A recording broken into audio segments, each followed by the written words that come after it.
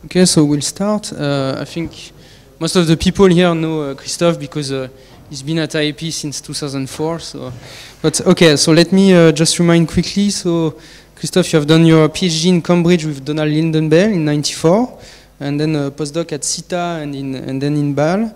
And, uh, and you've been hired as a CNRS uh, researcher in Strasbourg, and then you moved to IAP in 2004.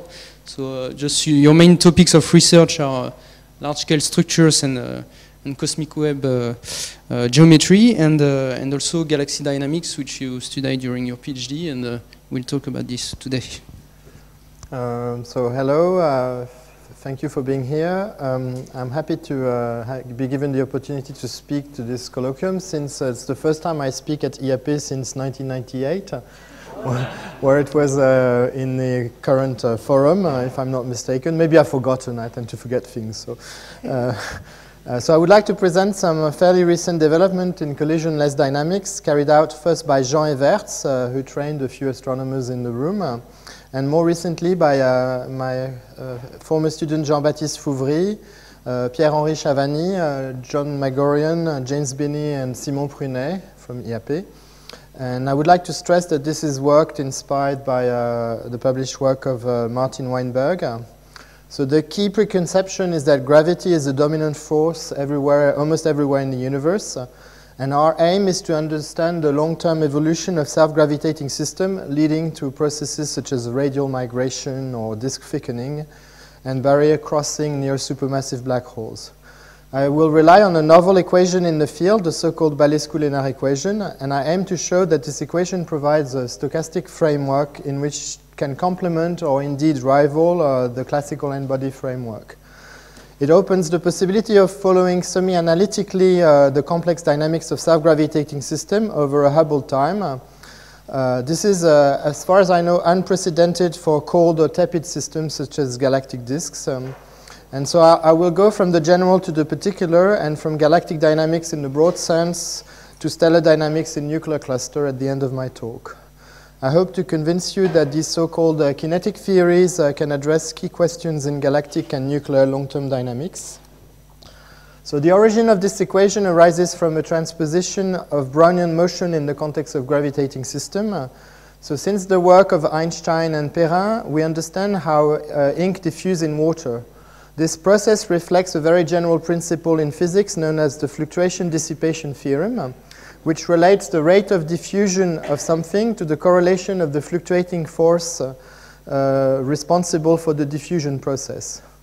The key idea is that typically uh, hydrodynamic and um, radiative process lock by symmetry self-gravitating system into state of low entropy where stars follow unlikely quasi-circular trajectories imposed by the mean field.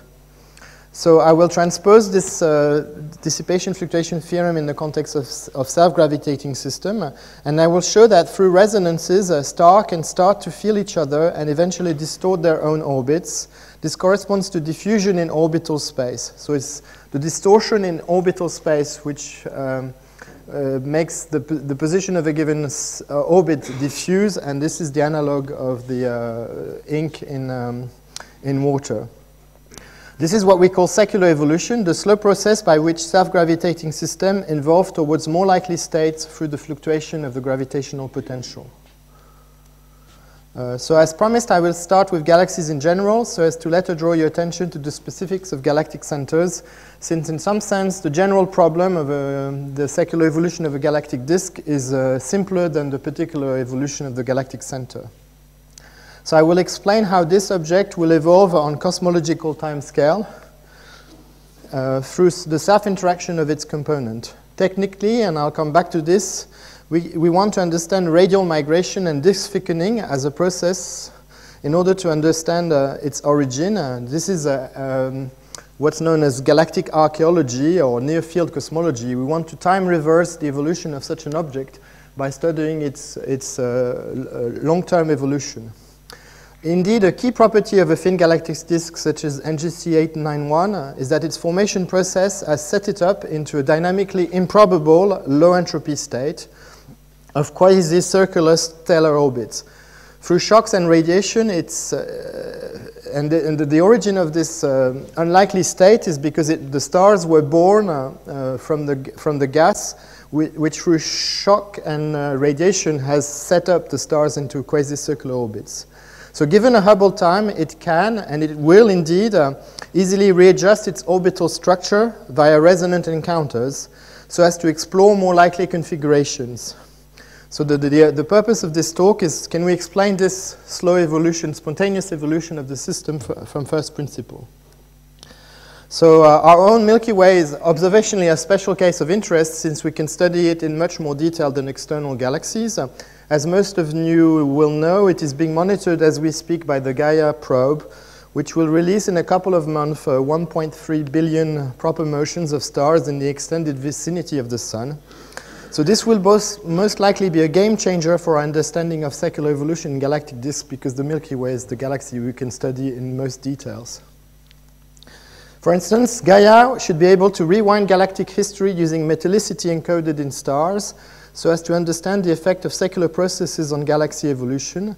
So this is um, nature in the so-called nature versus nurture conundrum of galactic evolution. This requires us understanding radial migration via blurring and churning. Uh, for those of you who don't know the word churning in English, it's uh, roulement or um, uh, quand fait tourner du beurre, barater. Uh, but what it means basically that as shown on this simulation done by Anaël Allais, that the, the, the position of a given star at some final time compared to the position of its initial time varies as a function of cosmic time. So this is, uh, this is the churning, the fact that a star which is born at some radius will move away from where it's been born through secular processes and res resonant encounters. Globular clusters represent another class of stellar clusters which are hotter, as in higher velocity dispersion, and so less responsive, but which contain fewer stars, hence are more sensitive to shot noise effects, such as described by the present formalism. Uh, their circular ev evolution is, is the subject of our ongoing work, so in this talk I will focus on what's already published and I will focus on galactic disks, but uh, there are another example. So the abstraction behind my presentation is to consider, sorry, the following system. Um, I have a thin disk embedded in a dark halo and possibly a bulge and a thick disk. And um, while this level of description is crude, uh, the motion of stars within such a system uh, remains relatively intricate. This is something that we'll need to address in order to understand uh, and predict the long-term behavior of this system. So can we predict what the self-interaction of these stars will do to its orbital structure? And the key ingredient will be to identify recurrences uh, which allow the perturbation to build up through resonances. So this is uh, what I'm going to be repeating uh, over and over in this talk. And the motivation, again, is to explain radial migration and disk thickening. Uh, I'll then, at the end of my talk, focus on galactic centers. Uh, while the motion of the so-called S cluster at the center of the Milky Way is Keplerian to first order, we, we may wonder what the effect of relativistic correction from the massive central black hole may do on long time scales, and what would be the importance of the mass of the stars in the cluster. This is all the more important on those scales because the orbital time scale is very short, on, and on the, other hand, the, the, on the other hand, the Keplerian potential is special. Um, so the, we need to be, to, to be able to account for the fact that we're dealing with a Keplerian potential. And the, the, the, physical context is to understand the diet of the black hole. It needs to eat a certain amount of stuff, but not too much, because uh, we know, for instance, that the current black hole uh, in the galactic center is being quiescent. So one could naively think that this problem can be tackled straightforwardly using n-body integration, but it turns out to be re remarkably difficult to integrate many relativistic trajectories over secular timescales, which is why it's of interest to develop uh, complementary kinetic theories. A key astrophysical which can be addressed while modeling nuclear clusters in orbiting supermassive black holes are the following. There's the so-called last parsec problem, which I just mentioned, to understand why supermassive black holes don't eat too much nor too little, to remain consistent with what is observed. Uh, this is a fine-tuning problem, which people in the field have been trying to address for a while. The galactic center is also the archetype of an AGN in its quiescent phase, and given the importance of AGN in regulating galaxy formation and studying this quiescent phase uh, is of interest. It can be used to test general relativity, quantify the supermassive black hole spin, or estimate the expected rates of tidal disruption events when a star is being uh, depleted of its atmosphere because it gets too close to the galactic center. And this uh, has a, and if you have also less massive black hole orbiting, uh, then you can uh, address the question of uh, what's known as EMRI, uh, which is, forgot again, uh, um, extreme mass ratio inspiral. So when a, bla a small black hole is going to sink towards the more massive black hole and potentially emit gravitational waves. So this, this type of formalism should allow you to predict the expected rate of such processes induced by the self-gravitating interaction of the nuclear cluster. Beyond the galactic center, the archetype of uh, our external galaxy, our neighbor M31, presents a double nucleus which is expected to correspond to an eccentric disk orbiting a supermassive black hole. So understanding why an eccentric nuclear cluster can survive long enough to be observed is also a secular question which we are currently investigating. And since astronomers like to classify things, they, they tend to think that uh, uh, nuclear clusters are divided in two, the Milky Way and Andromeda, so this is the other case of interest. Um, so for the sake of this presentation, I'll, I'll restrict myself to single nucleus, but um, uh, I wanted to give you a broad picture of why what I'm going to present to you is, is of uh, interest in various contexts. Okay, so for the purpose of this talk, the abstraction will be formally the same. The same, I will have a, a flattened stellar cluster playing the role of a disk, and the bulge is replaced by uh, the central black hole. Um, this will, uh, the potential is, is different because um, uh, it's dominated by the central black hole, so we have a Keplerian potential. Um, uh, this is a complication because it induces de degeneracies in the frequency. The radial and the azimuthal frequencies of a Kepler potential are identical. We will have to circumvent these difficulties, uh, which are specific to nuclear clusters. And once again, the objective is to control its diet.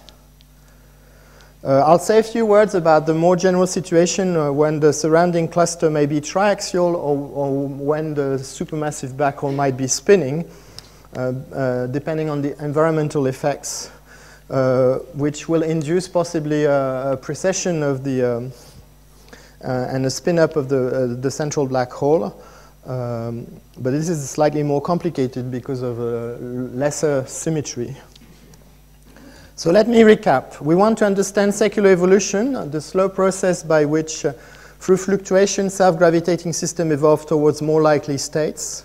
So my presentation will be divided in three parts. First, I will motivate why secular evolution is relevant and discuss the key features of the process uh, one must focus on when describing the long-term evolution of collisionless system. So will be, this will be the core of my talk. I will present to you the um, corresponding master equation and how to solve it. And just for the, for the pleasure of uh, Patrick, I've added a few slides about how you derive the equation, but I'll just probably flip them to you. And finally, I'll, I will illustrate impl its implementation on three physical problems. First, the problem of radial migration and thickening as a proof of concept, which quantitative comparison with n-body simulations. And finally, I'll focus on what I pretended I would do in this talk, which is the secular evolution of quasi-Keplerian cluster, um, which, as you will see, is a special degenerate case of the general formalism. So, in this talk, I'm concerned with understanding how a stable self-gravitating disk or cluster responds on long time scale to the fluctuating environment of its own or its own graininess uh, the fact that it's made of a finite number of stars or a finite number of, globular, of giant molecular clouds, etc. So one question we may ask is, how can galaxy move along the Hubble sequence um, through its self-interaction? and uh, can we understand the secular evolution of, the, of galaxies along the Hubble diagram? Uh, we're here in, in the context of trying to disentangle nature versus nurture, uh, to distinguish in the long run how uh, the environment is impacting a, a, galaxy and what is triggered by its self-interaction via finite n effects and departure from the mean field approximation. So in this talk I will focus on nature, but keep in mind that a small variation of the present formalism can also capture uh, uh, nurture, i.e. the effect of the environment. So the, the physical motivation, astrophysical motivation, is to understand galactic chemodynamics and the secular evolution of galactic centers. Uh, so our task in this talk is to implement a quasi-linear theory which describes the long-term evolution of uh, collisionless or stellar systems. So uh, focusing on, on um, first on cold galactic disk, uh, I, I, will describe them uh, through, uh, I will have to describe through five main characteristics of this disk which are of relevance in order to write down the equation. So galactic disks are inhomogeneous, that induces complex trajectories. Uh, their trajectories are multiperiodic with short dy dynamical time scales, which means that the, these systems are typically phase mixed. They are self-gravitating and cold, meaning low velocity dispersion, uh, which means any perturbation uh, will be strongly amplified. Uh, they're possibly embedded in a live cosmic environment, so they can be perturbed from the external environment, and they're made of a finite number of particles, so they're discrete. so this is the typical intricate trajectories uh, that I've already shown to you of uh, stars within uh, the galaxy imposed by the mean field.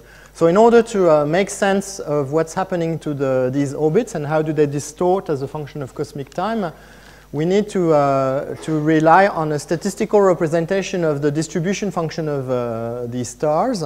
So we are going to transform the uh, long-term evolution, uh, the question of the long-term evolution of this system as an equation for the evolution of this distribution function, which we'll have to qualify uh, and quantify on short time scales, on dynamical time scales, and on secular time scales. So in order to uh, uh, in order to do this, uh, I will um, um, rely on, so, on canonical variables which are known as angle, angle action coordinates to simplify the, the previous trajectories. And let me uh, illustrate to you what there are using the, the example of a pendulum. So if we consider a 1D pendulum, we can, um, we can uh, position uh, the instantaneous state of the pendulum looking in phase space, where this is the angle and that's its momentum. And we can label uh, uh, the coordinate in phase space using the circle corresponding to the uh, uh, uh swiped area by the trajectory in phase space. So the, uh, the radius of the um, circle can be used as a canonical coordinate, and that's the action. And then the angle is just the phase of the, um, the position of the pendulum on that circle. So if I move from, uh, uh, from the original uh, canonical coordinates to these angle action coordinates, then what you see is that uh, the y label is just the size of the circle, and the x label is just a coordinate which varies linearly with time. So the, the trajectories in this, new, uh, in this new way of mapping phase space is purely ballistic. Things just swipe from the left to the right uh, at fixed action. So this is nice because we're back to uh, describing the system as though it was uniform, even though it has a more complex trajectory in configuration space. And one other very important and nice property is that the frequencies of the system, which are important for recurrence, as we will see, are just simply the derivative of the Hamiltonian with respect to these actions. So the, the, once again, uh, the actions are preserved and, and the angles just vary linearly with time in these new coordinates. So that's a bit boring in, uh, in 1D, but something a lot more interesting happens when you consider the slightly more complex toy model of a 2D pendulum. So say you, you plug two, a rope between two points here, and then a second rope in the middle like this, and you ask yourself, what is the phase space trajectory of uh, this two degree of freedom pendulum? Uh, linearized pendulum. Uh, so it's just the, uh, the uh, direct product of two pendulums. So the, the phase space trajectory are going to lie on a two torus. And um, so it's, it's, it's also boring in some sense. But something really interesting happens uh, regarding the frequencies. Uh, depending on what the relative length of these two ropes are, something interesting can happen. Either the two frequencies are commensurate, which means that the trajectory in uh, phase space is going to uh, uh, span a region of zero measure. Commensurate means there's, there's a double integer so that you can nullify the dot product of this double integer with the two frequencies of the system. So there's a resonant happening. Uh, uh, every time uh, one degree of freedom oscillates n times, the other degrees of freedom oscillates p time. Or the two frequencies are not commensurate, and then the, uh, the trajectory of phase space of our pendulous is going to, uh, to fill the torus. Why is this of relevance to galactic dynamics? For the following reason. If there's no resonance, then the, the likelihood of the blue particle meeting the red particle uh, as it swipes its uh, angle space is going to be low. It happens quite rarely because the trajectories are all over the place. Whereas if I have a resonance and the two particles happen to resonate with each other, they're going to meet each other very often.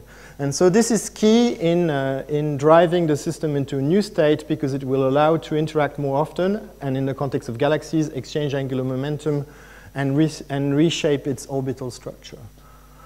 Uh, I uh, suggest you go and see this beautiful uh, uh experiment of 2D uh, pendulum done with sand on the web. Uh, and so once again, the, the, the, existence of resonance within the system drives recurrence, and recurrence allows for secular evolution. So we're back to our nice orbits. Let's intricate orbits, we move to, um, uh, to angle action space. This is the same trajectory seen in phase space in Vz versus Z and Vr versus R. And you see that uh, in, in phase space, if you use these actions as labels, so the action is formally just a swiped area of each degree of freedom, then the trajectories are much simpler in that uh, uh action, action angle space. And so uh, the, the question of the evolution of the distribution function, uh, if you wait long enough so that uh, the trajectories are phased average, is only a question of how is the uh, orbital uh, structure going to change and how is the underlying distribution function going to evolve as a function of cosmic time because these actions are going to uh, be distorted so, and, and diffuse in action space. And so the, the question we now need to address quantitatively is how does the distribution function diffuse via the fluctuation of the, the, the, the force field? And so, as I've already suggested, it's going to happen through resonant interaction, which is going to be self-amplified by the self-gravity of the system. Okay, second point, I'm going to go a bit faster because they're more uh, trivial points or more familiar to, uh, to most astronomers. Galaxies are relaxed, so initially, uh, in a few dynamical time, through, through the fluctuation of the mean potential, uh, they, which we, what we call violent relaxation, the, the mean potential becomes time independent, and the, the, the system uh, relaxes into a state which is only characterized by its uh, uh, actions. And uh, given a, a, few dynamical time, uh, galaxies are also phase mixed, which means that a uh, given perturbation in angle action space will be swiped away and will only depend after a short amount of time only on the actions through the fact that different orbits have different uh, specific frequencies. So that you have this uh, shearing in phase space, which means you lose track of what the exact angle of a given star is. So um, the only, uh, once the galaxy is locked into this regime, it can uh, no longer exchange angular momentum except through the fluctuation of the uh, potential, whether it's being externally induced or internally induced by the discreteness of the system. And this is what secular evolution is supposed to capture. And um, to repeat myself, uh, the, the, the, distortion of the orbits, the fact that these actions are going to involve on long time scale is going to be driven by the resonances. Galaxies are self-gravitating. If I consider a leading uh, spiral wave of small amplitude, as been shown by Toomre in 81, through the process of differential rotation and, and, and self-gravity, it will unwind, and in the process of unwinding, so it's leading here, and it's trailing after this point, it will be strongly amplified. And uh, one thing to keep in mind as a raw number is if you have a disk with constant rotation curve, which is a good model for the Milky Way, the amplification can be a factor of 100, which means if you put a mass of mass 1 in your favorite unit into a, a, a disk with a flat rotation curve, like the Milky Way, then the particles, uh, the other stars around it, will be deflected uh, because you've added this particle and will create a polarization cloud, uh, uh, what, uh, what, plasma physicists uh, call the susceptibility, which will be 100 times more massive than whatever you put. So this is very important because we will see that when we look at secular diffusion, this susceptibility that I've just mentioned is going to be squared. So here you have a factor of, of 100. When you square it, you will have a factor of 10,000. So the fact that self-gravitating cold disks are, um, are very susceptible uh, has a tremendous impact on the efficiency of secular evolution, uh, even though you would think, okay, uh, a galaxy contains many uh, giant molecular cloud. Why do I care about shot noise? You do because every shot noise is being dressed by a factor of 10,000. Okay, galaxy are self-gravitating. How do we deal with this? Uh, just a small amount of um, beautiful mathematics. uh, we need to take into account that an external or assumed external perturbation is going to be uh, inducing a deflection of the trajectory through the linearized Boltzmann's equation, uh, which will induce a uh, change in the underlying distribution function. Uh, if you project into a position space by integration over velocity, it will correspond to a, a perturbed uh, overdensity, which itself induces a perturbed uh, uh, potential fluctuation, which you need to add to the external perturbation. So you need to, to deal with this uh, feedback looping of uh, self-gravity onto the system. And since 96, uh, since 76, we know how to deal with it. Basically, we make the equation, the Poisson equation disappear from the problem by projecting the response of the system into a, a basis, uh, a biorthogonal basis function, which automatically satisfies the field equation. So basically, uh, um, the, the self-gravity problem disappears, and the price we have to pay is instead of having to deal directly with the uh, perturbation in density, we need to, to, build, to deal with the time-dependent, self-amplified uh, uh, uh, evolution of the, the coefficient of this expansion. So this is an example of such radial basis of uh, potential density pairs.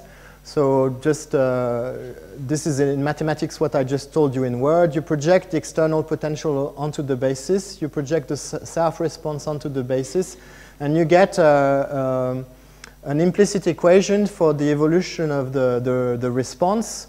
And uh, if you go to Fourier space to deal with the convolution, uh, you find that uh, the response, what you're interested in, involves, uh, is proportional to the external perturbation through some amplification, uh, some, tr some, transfer function, uh, which is called the response matrix, and uh, uh, which has this nasty shape. Uh, so it involves an integral over action space. We're considering all the orbits. we're looking, we weighted by the, the gradient of the distribution function, and it involves as a denominator resonant frequencies. So again, resonance bites you in the linear response of the system. What this means is that uh, if this matrix has uh, 1 as an eigenvalue, you have a division by 0 here, which uh, physically means that um, the system would be naturally unstable. It would grow exponentially a spiral wave, as we saw earlier. So we're not interested in this um, exponential growth uh, when we deal with secular evolution, but um, we are interested in a regime where m has eigenvalues close to 1, which is another mathematical way of saying what I was telling you earlier physically, which is that disks are uh, self-gravitating and, uh, and strongly amplify spiral perturbation. Um, so again, remember that this gravitational susceptibility encoded in the matrix is actually squared for secular evolution. Galaxies are perturbed, so uh, this is a simulation that Jean-Baptiste did of uh, uh, the uh, external part of a dark halo. And so, as I mentioned to you, uh, we can uh, modify the formalism to account for the external perturbation instead of self-induced. And so the game of uh, understanding the long-term evolution of uh, galaxies is to weight the relative importance of self-induced versus external perturbation. So here I will focus on internal perturbation, which falls into the realm of the Balescu-Lenard equation.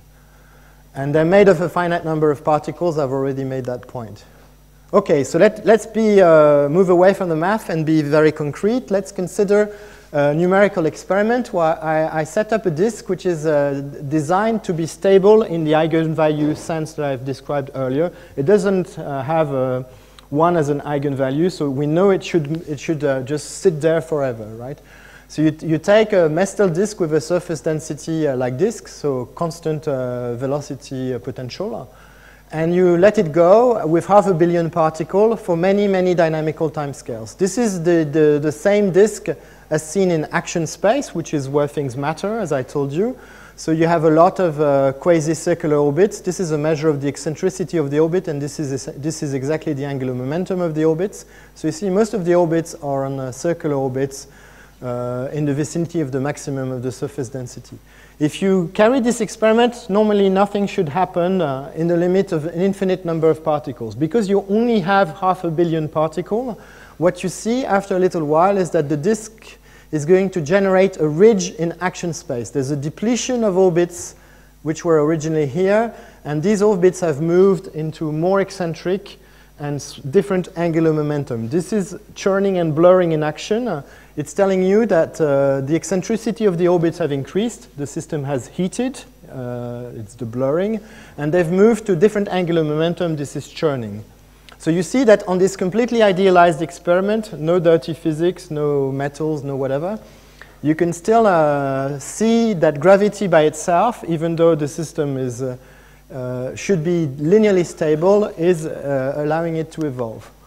If you look at configuration space, which is done here, you do see that absolutely nothing happens. This is going on for a, a Hubble time or more, and you see, whoops, you see that the, the spiral waves are appearing and disappearing but uh, nothing is happening to the disk. Uh, and whereas if you go to uh, orbital space, which is what I've been arguing you should do, you find that after a while, this is a time sequence, you find these ridges appearing. So this is a um, animation of this. Every time it, it, uh, the movie swaps, it's a Hubble time, so I don't know how to slow this uh, animation, but uh, this is hundreds of Hubble times. And so, uh, you, so this is an experiment where you see the process of the, the, finite number of stars driving the system into a new configuration where the, its orbits have been distorted because it's been allowed to exchange angular momentum through resonances. Uh, why is this an n effect, a finite n effect? This is shown in the amplitude of the perturbation if you do modal analysis of your disk, and you find that depending on the number of particles you put in your simulation, uh, in a ratio which is uh, proportional to the number of particles, nothing happens uh, for a certain amount of time. So the fact that the uh, response of the system depends on the number of particles is telling you that it has something to do with the finite number of particles.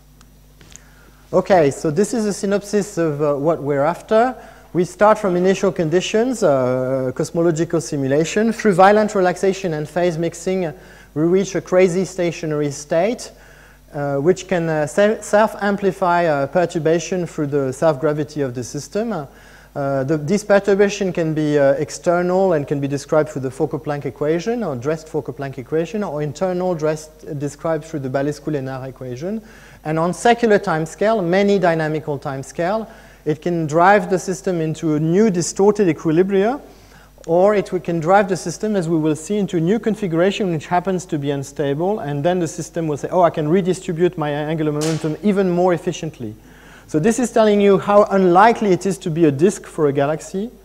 And the reason it's been uh, put into this crazy position of being a disk is because it was born out of gas, and the gas shocks and can only happily stay on non-intersecting non orbits. Uh, so uh, gravitational system will uh, evolve if given the option, uh, unless they're locked into these um, strange uh, configuration by birth. That would be the case of a disk. But even an NFW halo uh, is set up into a configuration which is not the isothermal sphere because it's, it, it, uh, it's a, it's um, metastable state in which the system gets locked into and it can't exchange angular momentum anymore. But if you let uh, an NFW uh, system with few enough particles, it will uh, redistribute its angular momentum and move towards the maximum entropy uh, solution, which would be the isothermal sphere. Or at the end of the day, a, a, a massive black hole and all stars being uh, thrown everywhere. Uh, and so what drives this secular evolution is the resonant effects um, which are amplified by self-gravity through uh, uh, and uh, inducing orbital distortion. Okay, so let me move to um, the, the equation and how to solve it and then present the illustration. I hope uh, um, up to now you've been following me. Uh, um, so we want to describe uh, through the effect of a finite number of uh, components uh, systems which are inhomogeneous, stable, self-gravitating, isolated, and discrete. There's some literature on the subject. Uh, it was very. It was developed in uh, plasma physics for uniform medium by Balescu and Lenard, as its name implies. Uh, it was uh, described for the first time in, uh, in um, gravitational uh, regime by Martin Weinberg, who made, who assumed a cubic uniform medium, so the, the, direct analog of the plasma case. And it was formalized for, for, for galactic disks in spheres by Heyvaerts in 2010. And then we started working on, on this. Uh, I should mention that uh, René Pellat, who's an important uh, person in this institute, also published a paper in 1987 uh, uh, giving a formal solution for a stellar system, but not explicit. Um, okay, so this is the equation. Uh, I know in colloquia we're not supposed to show many equations, but since the whole talk is about solving this equation, I thought I should show it to you. So it's a diffusion equation uh, because it involves the divergence of a flux. So this is a divergence and that's a flux. So it's like a heat diffusion equation, except it's not heat which is diffusing, it's the properties of the orbits of a galaxy. Uh, it grows like, it scales like 1 over n. If you, put, if you go in the mean field limit of having an infinite number of particles, then, uh, then this is zero and nothing happens. The orbital structure is frozen. Uh, it involves a sum of resonances. Uh, the, these are the, uh, the um, uh, quantum numbers describing the, the, possible resonances that I mentioned when I dealt with my two pendulum.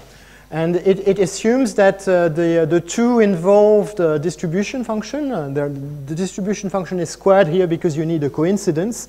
And these two representation of the system should satisfy a resonant condition. This is what this Dirac delta is, is telling you here they, the, the two orbits should have matching uh, frequencies, uh, should have frequencies which resonate with each other. They should be, uh, the, the, the, delta function should be contributing something to this integral over all possible orbits.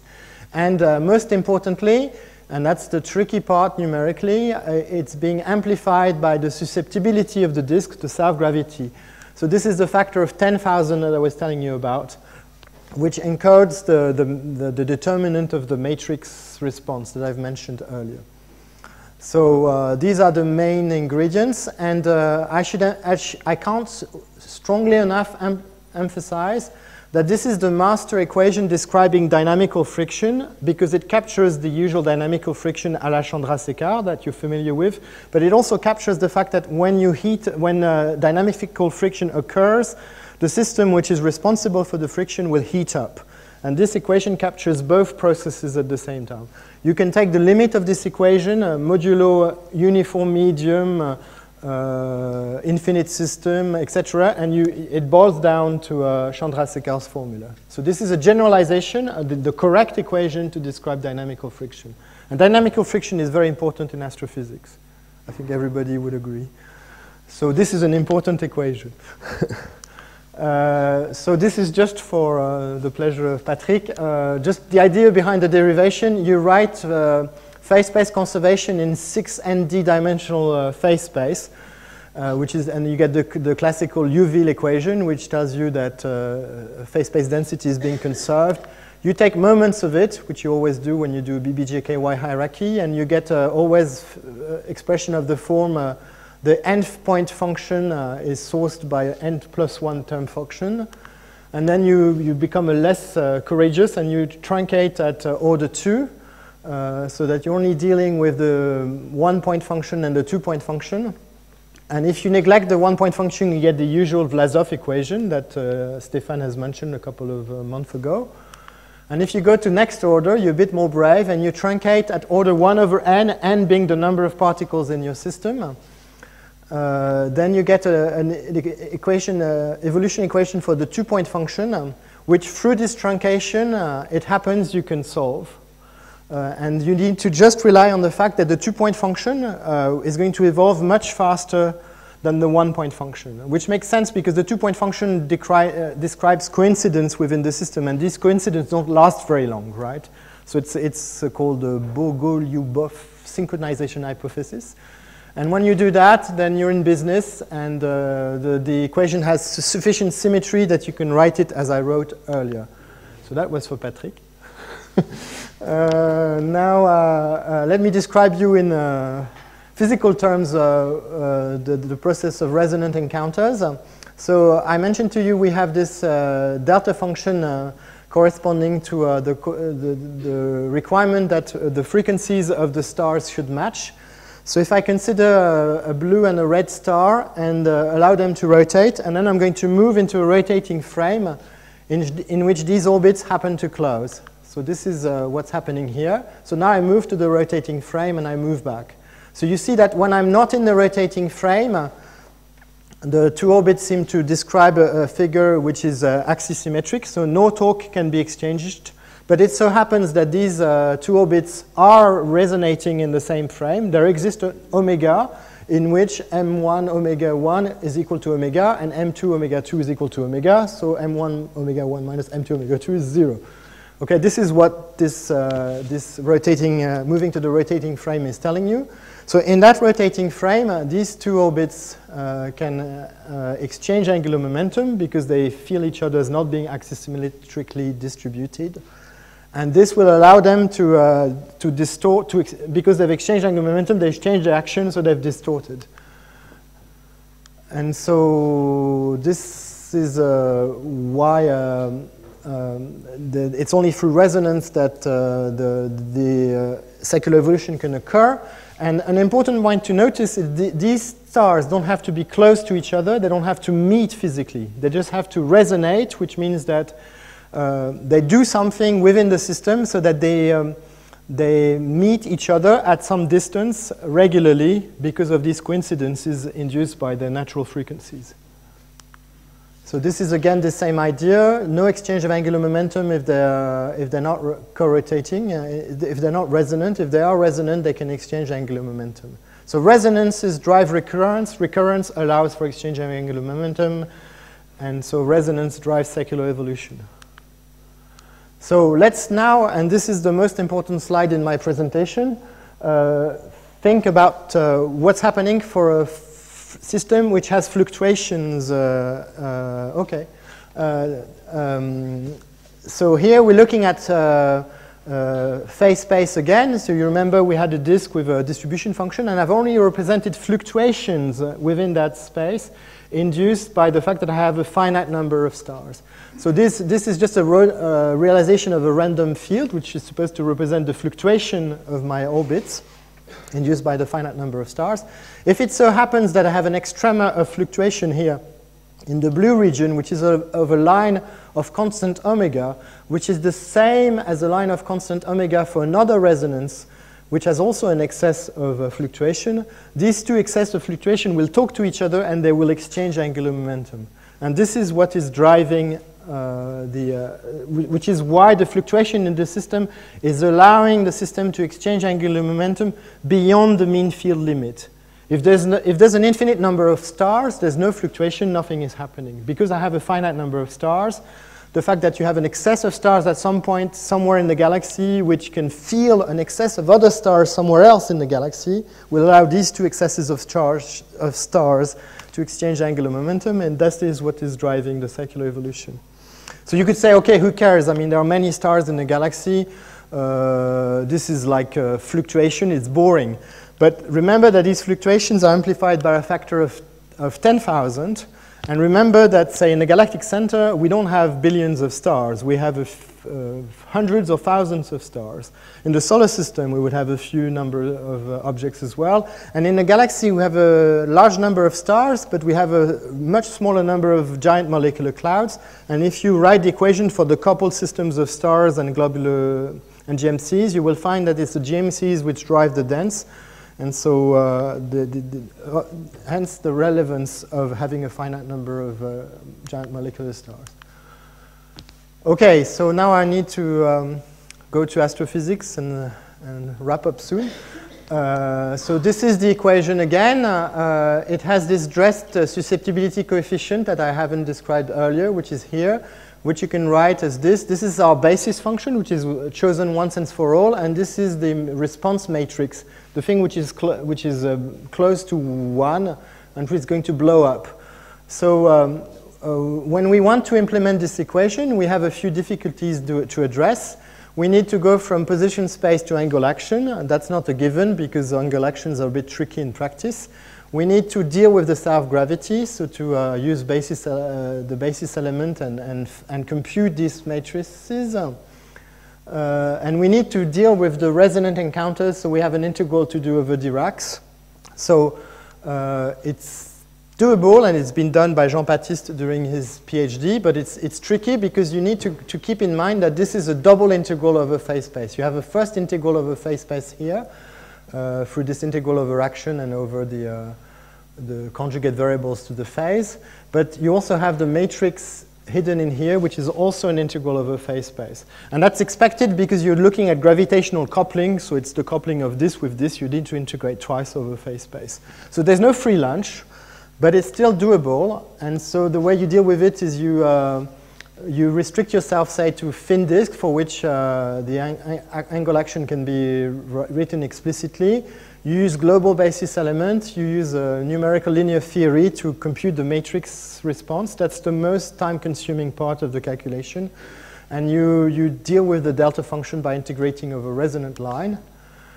And uh, that I've already said most of this and uh, whatever. So there's some technicalities involved in, in computing this diffusion uh, coefficient, but it's doable. So let me illustrate to you uh, how, how it can be implemented in three cases, and I'll finish my talk there soon. Uh, so let's first consider the razor thin disk of Sellwood's experiment. And um, again, the motivation is uh, blurring and churning and uh, galactic archaeology. Uh, so this is, uh, we want to look, to solve for this flux. This is the, the equation rewritten formally. And we see that uh, one of the characteristics of the equation is to sum over all resonances.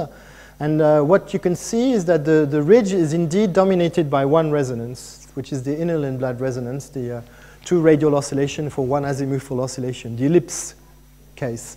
Uh, so uh, we, we compute the flux for the various resonance, and we do indeed find that we are dominated by the, uh, the flux along the inner Lindblad resonance.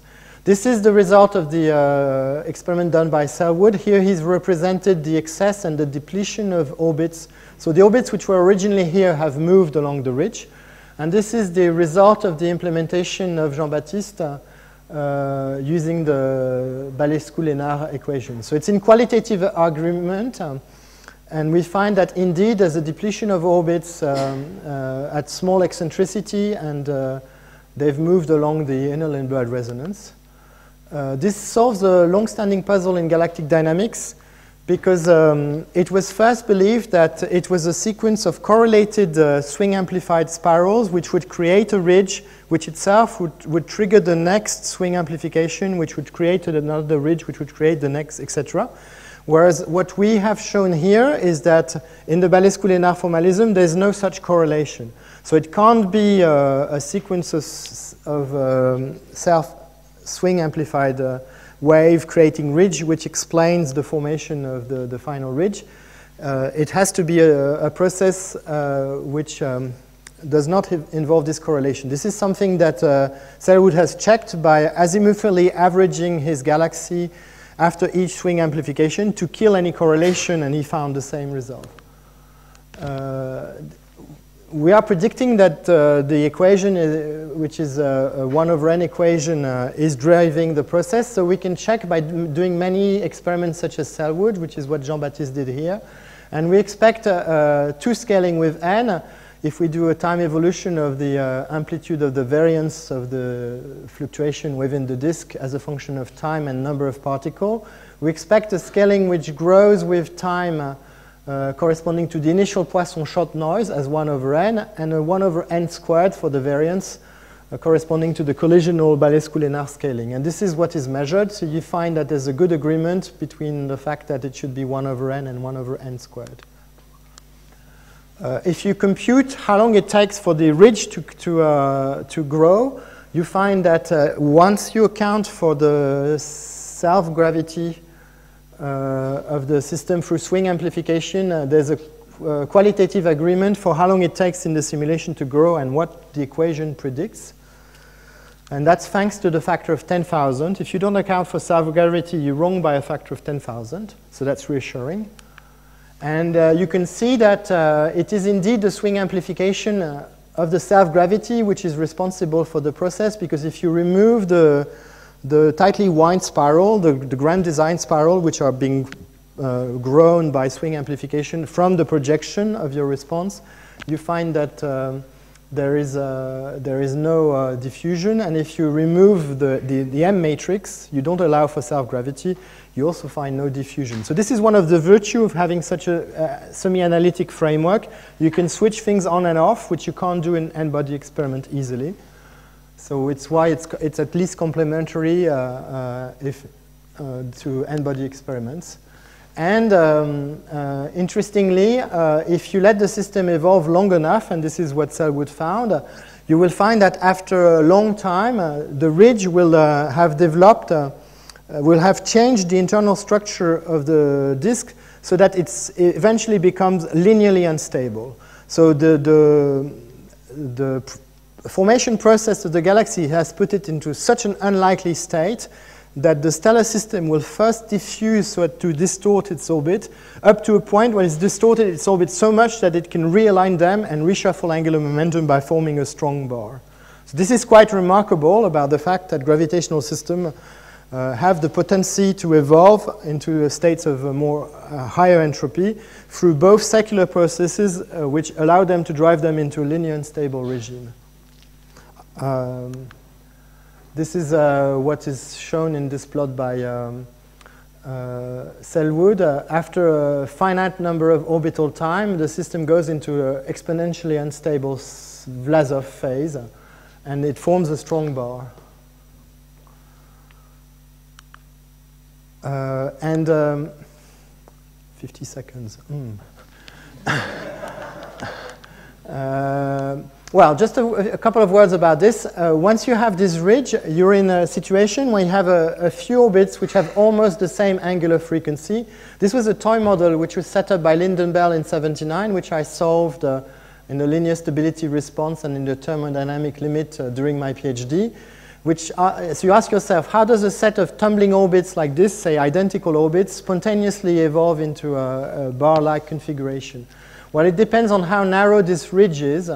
Uh, if you have uh, all, all uh, um, ellipses have roughly the same angular frequency, it means that uh, the shearing in phase space would, will be slow, so you'll induce an instability by winding in phase space, which is the azimuthal analog of uh, Jeans instability, um, uh, which is represented, the solution is represented here. So this was, a, when I gave this talk in Princeton last December, I conjectured that the instability which develops through the formation of this ridge uh, was actually of this type. Uh, so I resurrected this model which had been, which had been uh, proven wrong uh, for galaxies as a whole uh, between uh, Donald's paper and my PhD. He just forgot to tell me. and so, but if you actually do a linear response analysis, of what's happening in the ridge in this toy experiment, and you compare to the n-body result, you find that there's a good match, including in the pattern speed and the growth rate. So I was really happy to see that uh, we can explain uh, in, the, in the sense of linear stability, a la Lynden-Bell 79, uh, exactly what is driving the system into a linear, in, linearly unstable regime once it's formed the ridge. So I'm uh, I need to wrap up. Uh, I, am going to flip some slides showing you, uh, you can do this for the thickening of disk as well. So it's just a distortion in the vertical direction and you can explain disk thickening. So this is again an experiment and this is the match of the experiment. And you find that uh, as, as cosmic time goes, the vertical velocity dispersion rises because of the distortion of the orbits induced by uh, uh, um, Balescu-Lenard evolution. And uh, I will flip a few results on the galactic center. Three minutes, two minutes, one, zero. Uh, galactic center is uh, this cluster of stars. There are some papers. We need to understand how black holes are fed. Uh, it's exactly the same problem, uh, except that uh, we have the problem of intrinsic degeneracy of the frequencies. So what we need to do is we need to, in the derivation of the equation, we need to phase average uh, the star onto its Keplerian orbit. So we treat uh, the, the, the, basic object is not stars anymore, but it's wires. Otherwise, we have a Dirac delta with zero inside it. So once you do that and you use uh, the Delaunay variables, which are the angle action variables of Keplerian system, you have to deal with the fact that you have a, a, a precession frequencies induced by the fact that uh, you have a black hole which has relativistic 1pn correction, that's for and you have a massive uh, disk, so uh, the gravitational potential uh, which induces precession of the orbit is the superposition of these two and you get in plane precession, uh, which is called uh, uh, resonant scalar relaxation and out of plane precession, blah, blah, blah. And it's all very well. You get exactly the same equation, except you've got bars everywhere, and bar means integrated over the fast angle of the star along its Keplerian orbit. But otherwise, it's the same equation. So you avoid Dirac of zero through this averaging. And you can explain through this, and this is what I'm where I'm going to end, I guess, uh, the, uh, the presence of um, uh, so-called Schwarzschild barrier, which is that uh, stars can diffuse towards the black hole, but they tend to stall at some finite radius, which you explain very simply in the context of this equation, because basically we're looking here at the angular frequency as a function of radius. So here we're dominated by the black hole, and here we have the contribution for the disk. So as long as uh, we are looking uh, at a region where the frequency is below this maximum here, things can talk to each other. So a star can talk to another star close to the black hole and allow this star to diffuse inwards. But as soon as I reach a frequency above that threshold, these stars can't talk to anybody anymore. And so the diffusion stalls. And this is uh, shown here in a cartoon. Uh, this is um, uh, slow action and uh, adiabatic fast action. you see that the stars can resonate, can uh, talk to each other up to some uh, finite barrier, which is fixed by this condition of going above the plateau. And this is an experiment of um, taking the Langevin counterpart of the Balescu-Lenard equation, which is the uh, stochastic formulation of the uh, equivalent Fokker-Planck. So you see that uh, as a function of time, the initial distribution of uh, Keplerian orbits as a function of angular momentum diffuses literally. This is a diffusion process, but you get this accumulation of, uh, of um, uh, uh, Keplerian orbits at some finite angular momentum cor corresponding to the Schwarzschild barrier. And this is the corresponding uh, result for uh, the implementation of the uh, uh, PDF uh, Balescu-Lenard. So this is the stochastic counterpart of this. And this and this. And last slide, if you take two type of species, you have low mass stars and high mass stars orbiting a galactic center you find uh, that uh, through diffusion, uh, you have again the Schwarzschild barrier, but you will find that you have a mass segregation, which is somewhat counterintuitive. You know from globular clusters that if you have two species in a globular clusters, the more massive sink in. In some sense, this is what's happening here, in the sense that the lighter stars are going to spend more time in the outskirts, but because they become more eccentric, they also spend more, they also zip through the center and in the process of being swallowed. So get, you get anti-mass segregation. It's the light stars which get swallowed first by the black hole. So these are my conclusions. Uh, we, we've uh, investigated the, the, secular evolution of self-gravitating systems uh and first implemented uh, the um, Balescu-Lenard equation uh, in two new regimes, stellar disk and galactic centers. Balescu-Lenard equation is uh, the equa master equation describes resonant relaxation and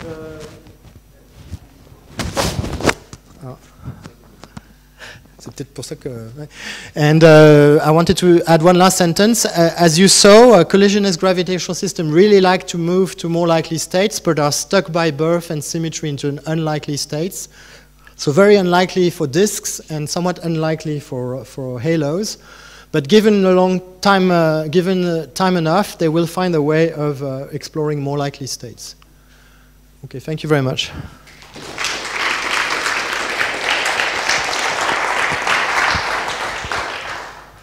Time for questions.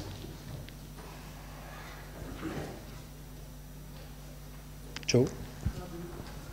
Joe, wait for the microphone, otherwise we won't hear you.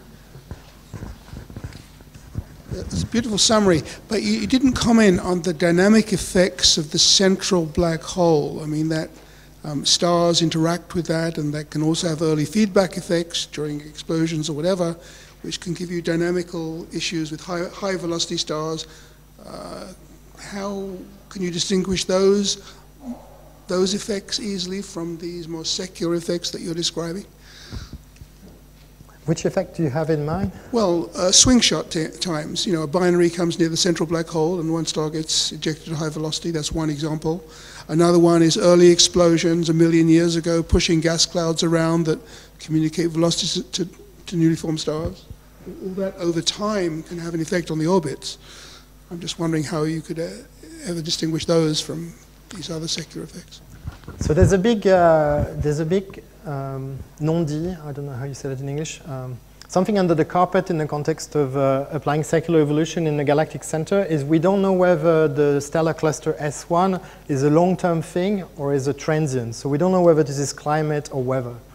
I'm assuming here in the context of applying a secular theory that it is not weather. Uh, one thing that one needs to take into account is if this Schwarzschild barrier is really so efficient, then we still uh, have a fine-tuning problem because all the stars are going to stop at some finite distance. But on yet longer time scales, two-body relaxation, corresponding to literally stars being deflected à la Chandrasekhar, will play a role. Uh, but I guess I'm not answering your question because you're asking for things which are faster rather than things which are longer. Um, I guess I don't have much to say about things which are faster. Um, you mean they would destroy the cluster before? Uh, I was just thinking of just in general perturbations, the velocity field that would tell you something about. I do have something to say about events. this. Uh, it's on this slide, isn't it? This is uh, when I gave this talk um, uh, in Princeton. There was somebody who was working on tidal uh, disruption event, and so uh, my understanding, but I'm really not an expert, is that there's some intermediate radius here, which is not the Schwarzschild radius, where a star can lose its atmosphere by getting close to the, um, to the black hole. And so people are investigating this in the context, in particular, M31. Uh, I'm thinking of Marianne, somebody. Uh, and so we're, we're, trying to investigate how we can uh, transpose our formalism to M31 and, and compute the rate of tidal disruption events of stars getting close to the, uh, to the uh, black hole, but not, uh, not close enough to be stalled. Um, of course, an, a, a, thing of interest in the context of uh, gravitational waves is to try and say something about how you can spin up or spin down the black hole. So in principle, this formalism can be translated into a rotating black hole or flattened cluster. Uh, it's obviously more complicated, so Jean-Baptiste is working on the spherical case for now. We've done the disk case. Okay. Thank you very much, Christophe, for this very nice uh, presentation of the resonance and recurrence and so on. Um, I, I am very puzzling. Could you comment about the role of the bulge? Because you don't discuss about it, and at very high redshift, a priori the bulge is the main component. Maybe it is a apparent effect, but it so is the main my component. bulge was hidden, but it's there. Uh,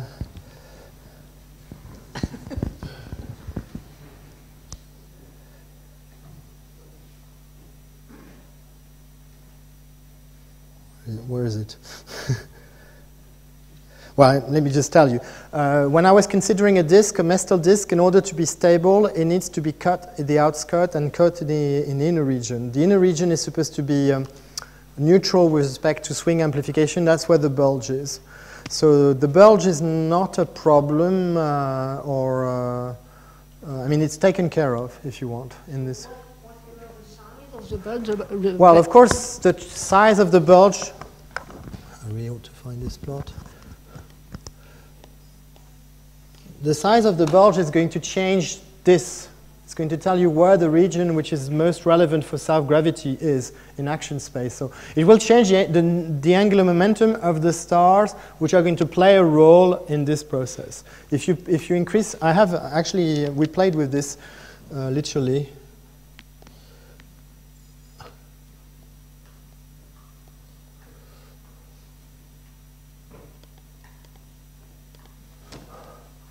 This is, uh, this is what happens in phase space again, in, um, in action space, depending on whether you change, for instance, the self-gravity of the halo. So here it's, uh, it's a more massive uh, disk, and here it's a less massive disk. So if the disk is not too massive, uh, you could play the same trick by changing the bulge then you will find that the ridge tends to develop along the inner Lindblad resonance, whereas if you make the disk more massive, then the maximum uh, uh, response will be along the co-rotation. So yes, there's a direct impact on what the underlying equilibrium is to what, where and how secular, resolution, secular evolution is going to take place. Basically, uh, as far as I am concerned, you give me a distribution function and I tell you the response. The distribution function encompasses what, what the potential is, what are the different components of the system, etc. So it's, it's very versatile formalism in that sense. You just need what the orbital structure is. Obviously, you change the system, you change the orbital structure. Yeah. Um, recently, Tal Alexander and Ben Bar-Or said that the uh, barrier doesn't really exist. Yes. Can you comment on the different approaches and why, well, the Schwarzschild barrier well, exists or not? They don't. They do numerical experiments, and so they can't decompose the problem into the resonant relaxation versus two-body relaxation. And so what they've done is they've integrated long enough so that two-body relaxation can kick in and allow stars to diffuse again. So there's no, there's no uh, contradiction whatsoever. It's just that uh, we can split problems and we can also write a diffusion equation or Langevin equation which also has two-body relaxation and we would, we would find that stars can and indeed do uh, pass through the barrier.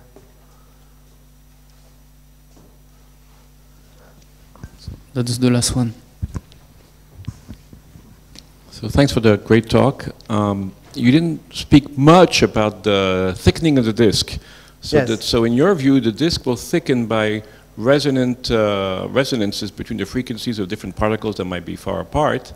And so what is the time scale for that compared to the expected time scale from, say, uh, subhalos coming in and heating up the disk? Okay, so I, I, am not making a strong statement as you want me to do because in this talk I've only talked about uh, nature, which is self-driven mm -hmm. secular evolution. If you want to address the question of whether or not uh, the, uh, it's the environment which dominates or the uh, intrinsic secular evolution which dominates, you need to model both and decide quantitatively. I gave you a formalism which allows to, you to do that. Then you need to work it out, plug in the numbers and decide. Have you tried to plug in the numbers just for the first case of just the, uh, the secular evolution? Uh, I think in the paper we find that uh, this process is slow, so it's probably not the dominant one. Uh, but, um, but I think it's an open question. People don't know today what is the origin of it. Depends, it depends on subtle things like the, the, the, the durée de vie birth time of uh, giant molecular clouds which can deflect. What, what's nice about this formalism is people used to split the problem in three, uh, whether you have spiral waves which do the trick or radial migration or external stuff. In this formalism that I've presented to you, we already have spiral waves and radial migration at the same time, or vertical migration if you prefer. They describe self-consistently. If you add an extra term corresponding to the Fokker-Planck part driven by the fluctuation of the environment, you would have all three together and you'd be able to decide. So I think it's a step forward, but it needs to be worked out. It's, it's immensely more complicated to do a thickened disk than to do a thin disk for technical reasons. One of them being we don't have angle action variables for thickened system. So you can't even, you don't have the equations in which to write the, uh, you don't have the variables in which to write the equations, which is a bit of a bummer. So you need to do some approximation, uh, like epicyclic, etc., which is what we did. And we stop here. Thank you. Thank you.